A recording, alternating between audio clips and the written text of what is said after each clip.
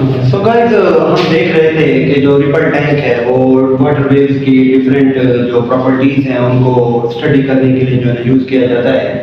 तो जब हम वाटर वेव्स को रिपल टैंक की मदद से प्रोड्यूस करते हैं तो अगर हम उसकी रिफ्लेक्शन प्रॉपर्टी को स्टडी करना चाहते हैं तो हम देखते हैं कि जब वाटर वेव्स पैदा हो रही होती हैं तो वाटर वेव जब टेबल की किसी सरफेस के साथ जाके टकराती हैं तो कुछ वेव्स ऐसी होती हैं, जो उस सरफेस के साथ टकराने के बाद दोबारा वापस से उसी मीडियम में वापस आ रही होती हैं।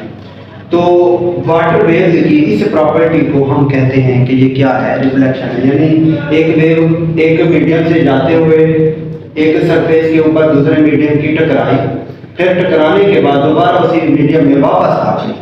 मुड़ के।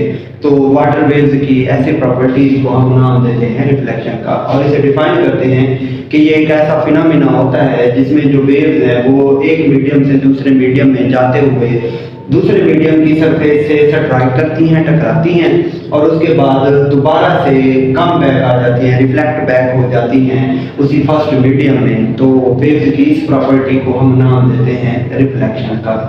अच्छा अब रिफ्लेक्शन के लिए कंडीशन होती है कि जब भी कोई वेव आके किसी मीडियम से दूसरे मीडियम के साथ टकराती है तो जो एंगल ऑफ़ इंसिडेंस हो, वही एंगल ऑफ़ रिफ्लेक्शन हो। यानी इंसिडेंस एंगल और रिफ्लेक्शन एंगल ऑफ़ रिफ्लेक्शन दोनों बराबर होंगे तो जो है ना रेज रिफ्लेक्ट बैक होंगी अदरवाइज़ नहीं होंगी। इट मींस अगर 45 डिग्री के एंगल पे एक वेव स्ट्राइक कर रही है किसी मीडियम के साथ तो उसका एंगल ऑफ़ रिफ्लेक्शन भी 45 डिग्री ही होगा। ये नहीं है कि उसका एंगल ऑफ़ रिफ्लेक्शन 50 डिग्री होगा, ऐसा नहीं होगा। अगर ऐसा होगा तो वेव जो है वो रिफ्लेक्ट बैक नहीं होगी।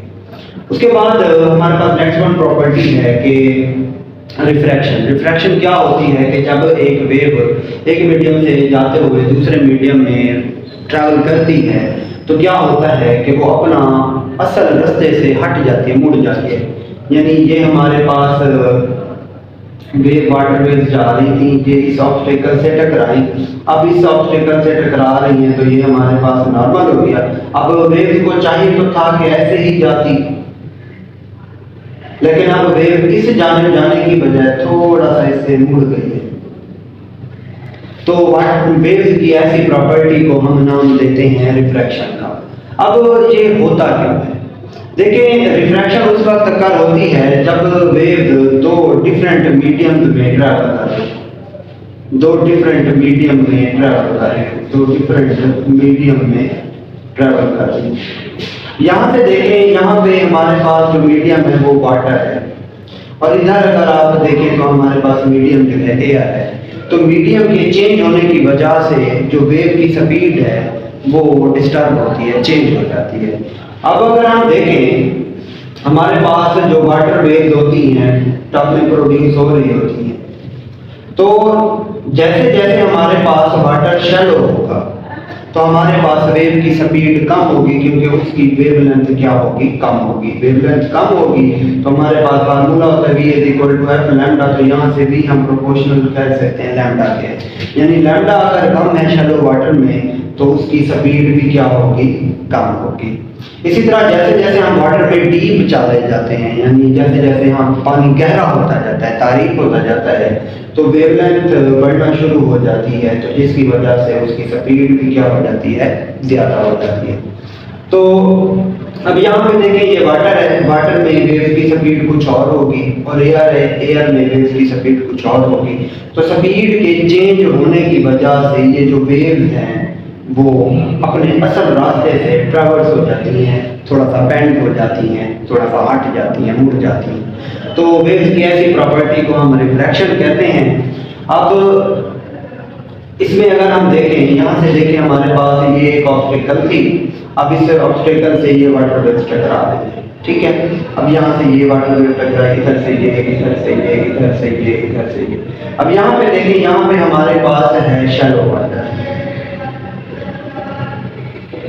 यानी शैलो वाटर में हमारे पास स्पीड क्या होगी? कम होगी। यहाँ पे हमारे पास स्पीड क्या है। कम अब यहाँ से वाटर डीप होना शुरू हो गया। यानी यहाँ शैलो वाटर एक अलग मीडियम है और डीप वाटर एक अलग मीडियम है। ठीक है? तो यहाँ पे वेवलेंथ बढ़ना शुरू हो गई इट मीन इसकी स्पीड इंक्रीज हो गई। अब इस स्पीड के डिफरेंस की वजह से मीडियम के चेंज होने की वजह से ये जो वाटर वेव है, अब चाहिए तो था कि ही जाती। स्ट्रेट लेकिन वो अपने असल रास्ते से बैंड होना शुरू हो जाती है, मुड़ना शुरू हो जाती है। तो वे इस प्रॉपर्टी को हम नाम देते हैं रिफ्रैक्शन का। उसके बाद हमारा टॉपिक है वो डायफ्रैक्शन से रिलेटेड है। अब डायफ्रैक्शन क्या है? डायफ्रैक्शन वेव की ऐसी प्रॉपर्टी होती है, जिसमें वेव जो है ना, उनके आगे अगर कोई रुकावट रख दी जाए, कोई ऑब्स्टेकल रख दी जाए, कोई हर्डल रख दी जाए तो उस ऑब्स्टेकल के एजेस के अराउंड जो है ना, वो वेव जो है बैंड होना शुरू हो जाती है। देखिए, ये वेव सेपरेट जा रही थी सोर्स से, लेकिन यहाँ पे हमने एक ऑब्स्टेकल रख दी, एक, लकड़ी का बुलाग रख दिया। अब उस लकड़ी के बुलाग में थोड़ा सा होल कर दिया हमने। अब आगे हम अगर ऑब्ज़र्व करेंगे तो हमें जो है ना कुछ इस तरह के जो है पैटर्न मिलना शुरू हो जाएँगे।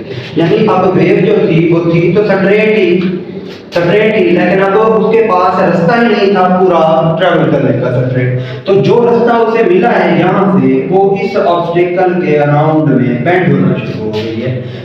और इस तरह जो है ना हमें एक पैटर्न मिलता है वेव्स का।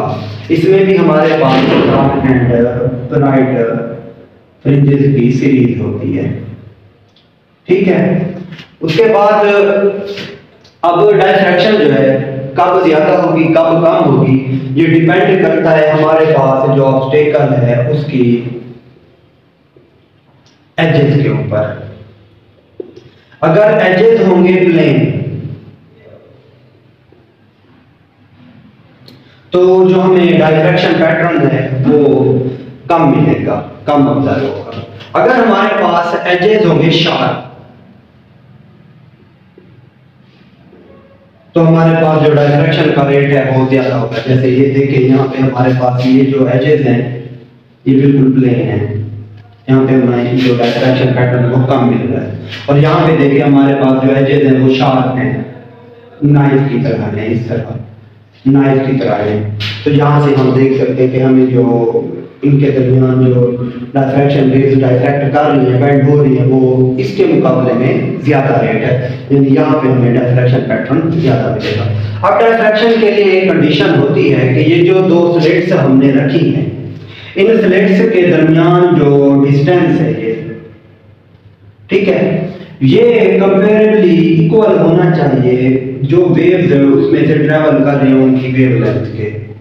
अगर तो ये स्लिट्स के दरमियान डिफरेंस डिस्टेंस और जो वेवलेंथ है वाटर की, वो कंपेरेबली इक्वल है तो जाके जो ना हमें डायफ्रैक्शन पैटर्न विजिबल नज़र आता है डायफ्रैक्शन पैटर्न ऑब्ज़र्व होता है। अदरवाइज़ अगर डिस्टेंस बढ़ा दें हम स्लिट्स का लेट सपोज़ हमारे पास ये स्लिट्स जो हैं कुछ यूँ रख देते हैं डिस्टेंस बढ़ा दिया जाए तो अब डायरेक्शन पैटर्न में कोई ज़्यादा खास ऑब्ज़र्व नहीं होगा। क्यों? क्योंकि वेव्स को ट्रैवल करने के लिए ज़्यादा से ज़्यादा रास्ता मिल रहा है।